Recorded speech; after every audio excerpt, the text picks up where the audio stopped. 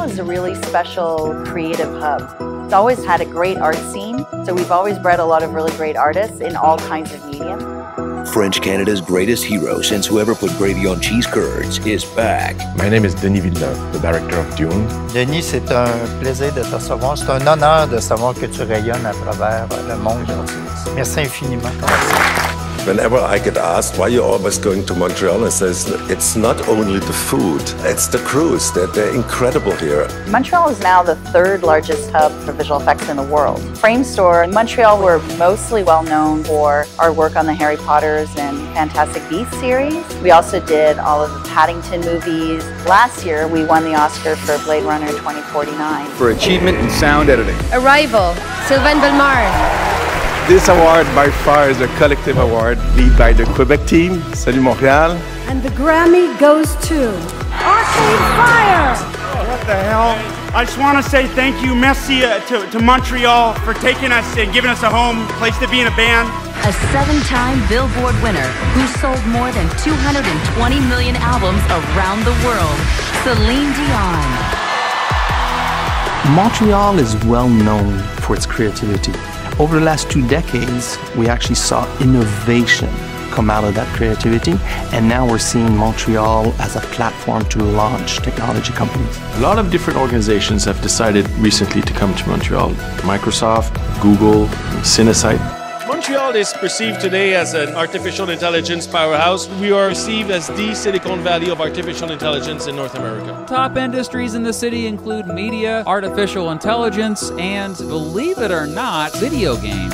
Montreal has a great talent pool, a mixing point between different industries, whether it's the VFX industry, the video game industry is very big here. It's a, kind of a video game hub here. C'est le monde du jeu vidéo, euh, Montréal c'est la capitale. Amongst the top five video game production cities in the world. Ubisoft. The building is over 100 years old. This place used to be a big textile factory. In my opinion, Montreal is the best place in the world to work in a video game industry. It's a huge hub of uh, industry game.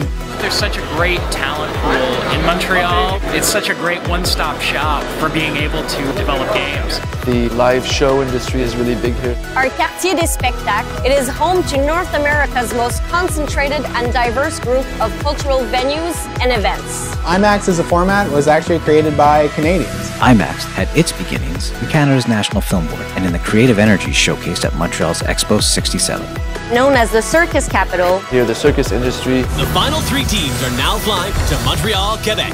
When they touch down, they must make their way to the Montreal headquarters of Canada's very own Cirque du Soleil.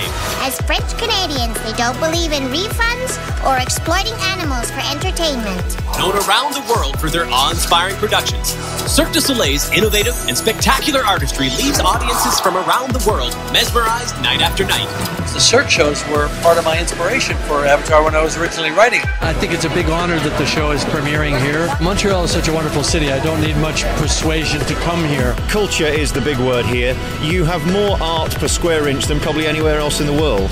We are the province that spends the most on the arts. Arts are very important to us. Montreal has developed a real expertise in everything involved in producing interactive group projects that are, above all, poetic.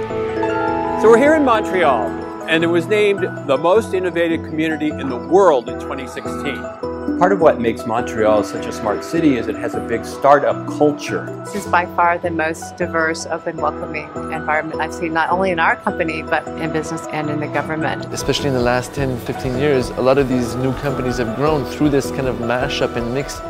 So proud, really am, to be in Montreal or to see companies like this doing so well on an international level. For a city that's 375 years old, Montreal has a bright future as a smart city.